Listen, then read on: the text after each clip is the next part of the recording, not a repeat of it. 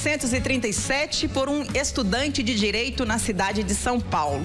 O sanduíche ficou tão famoso que colocaram o nome da cidade natal do inventor no sanduíche. Bauru, uma cidade no interior de São Paulo que fica a mais de 600 quilômetros aqui de Goiânia. Só que o que foi inventado há mais de 80 anos já passou aí por muitas transformações. É possível encontrar o Bauru com presunto, mussarela, tem até de carne seca.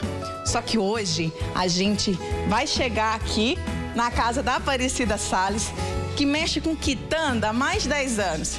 E hoje você vai recriar o bauru, fazendo bauru de frango e calabresa. Hum, que delícia. Invenção sua?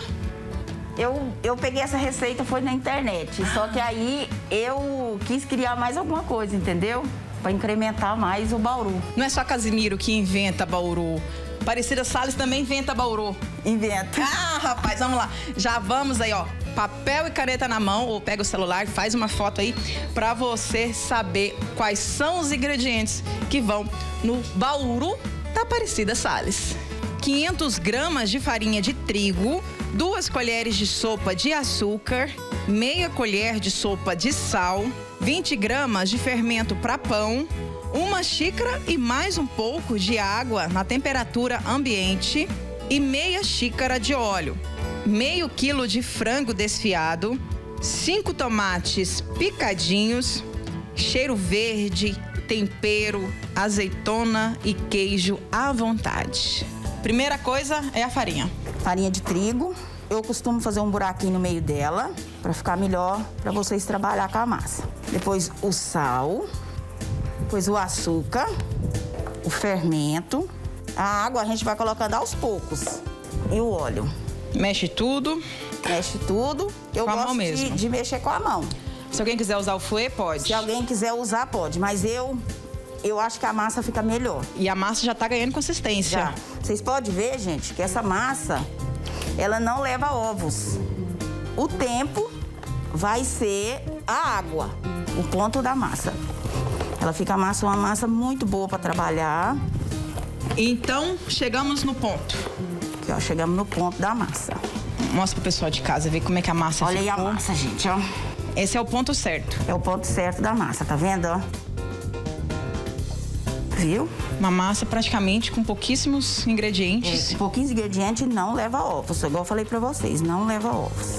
Enquanto a massa fica descansando por uns 5 minutinhos, qual é o próximo passo? Próximo passo vocês jogam, pegue fazer com ela americano.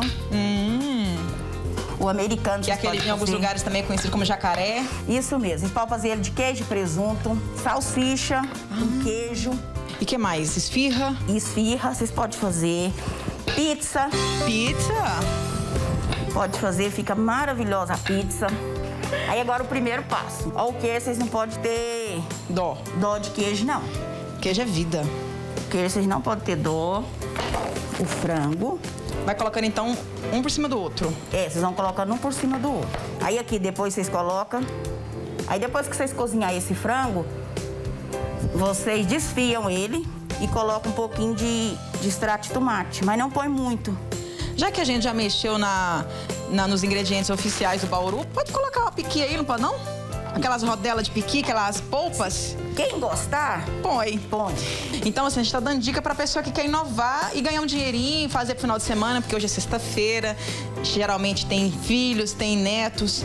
A gente não tá podendo aglomerar, mas sexta-feira dá um jeitinho de ficar em casa Verdade. e fazer um lanchinho com o marido, com o filho, não é não? Verdade. Então a dica tá aí. Pega o, quem quer. O tomate, vocês, se o frango de vocês não tiver muito temperado, vocês podem colocar um pouquinho, pode temperar o tomate, mas não muito, uhum. porque senão ele dá muita água.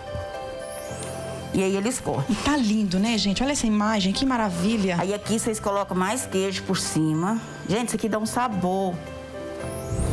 Pra quem gosta de azeitona... Hum. É um é charme, né? E a azeitona, aqui, ela se impõe, né? Ah, olha isso, embrulha. É, talvez vocês acham assim, ai, tá grossa a massa. Não. A massa, a massa dele é essa.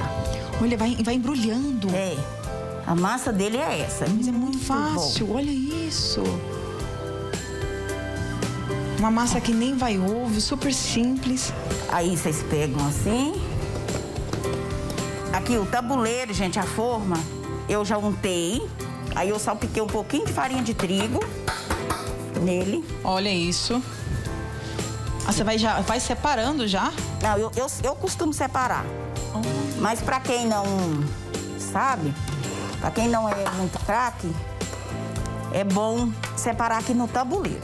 Esse aqui, eu ponho só a gema, óleo e um pouquinho de água. É? Ele corar, ele fica uma cor bonita, ele fica uma cor muito bonita. Então aquele, aquele brilho, aquele, aquele coradinho, é isso. É isso. Aí aqui, agora eu jogo o orégano por cima. Que é à vontade também. É à Quem vontade. não gosta. Quem não gosta, não põe. Aí você pode fazer assim, ou você pode fazer assim, ou você pode fazer com ele os tomates pequenininho, picadinho. Tomate assado também fica muito bom, né? Fica muito bom. Virar um outro. Aí você pega o cheiro verde. Eu esqueci, foi Mulher, isso é um almoço. É muito bom. O pessoal que não almoçou ainda deve estar te odiando. Isso aqui é maravilhoso. Vou cortar pra mostrar pra vocês. Aqui, ó.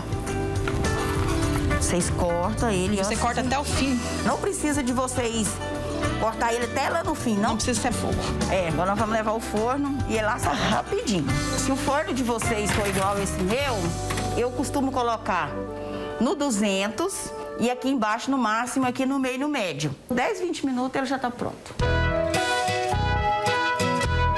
E agora, pra quem quiser fazer a versão calabresa, é o mesmo esquema, né, Aparecida? É o mesmo esquema. Em vez de vocês colocar o frango, vocês colocam a calabresa.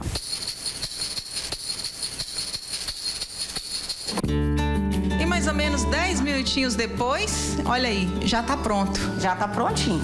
Isso aqui, na minha opinião, com café vai ficar uma maravilha. Senta. Maravilhoso, Jaque. Macio. Hum, tô salivando aqui já. Cremoso. Olha a fumacinha delícia subindo. Vamos lá? É suculento, você é Suculento. seco, Olha né? aqui pra vocês verem. Ó, suculento, bem gostoso. Olha isso, que delícia. Verdade. Agora vamos de calabresa. Ó, Calabresa é muito bom. olha que maravilha. Ó.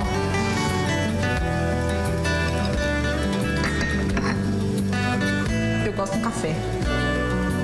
Bom demais.